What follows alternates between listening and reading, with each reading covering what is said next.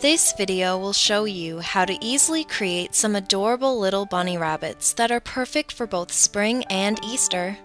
So let's get this cutepolish design started.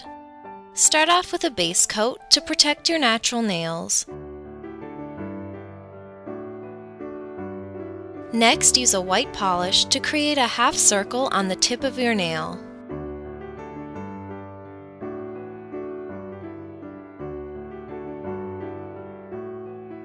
Use the polish brush to create two long ears.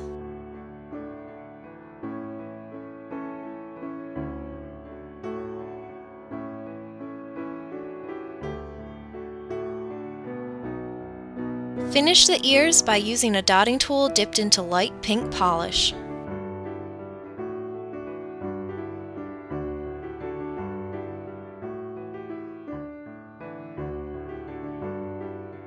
Create two big brown eyes